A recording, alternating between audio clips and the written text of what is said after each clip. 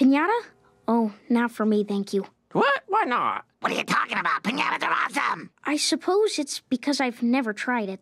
Well, Jeff, my friend, today's the day you become a man. A pinata man.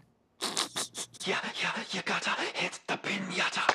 Under the blindfold, eyes won't peep. Do it right, tie it tight, don't cheat.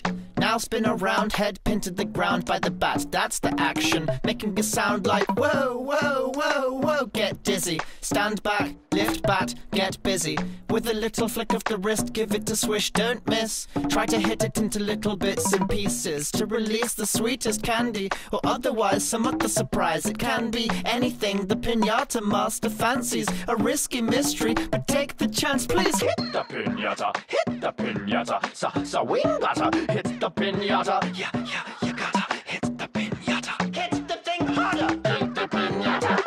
Made out of paper, break the shape of a donkey. You won't be seeing it later. Cause once you attack it, make the bat smack it. Maybe you'll smash it into smithereens. So streams of sweet treats careen to the carpet. The tricky task is to swing a stick in the darkness. But try your hardest and tense your back until you strike the target and make it crack. Hit the pinata, hit the pinata, sa sa wing butter, hit the pinata. Yeah,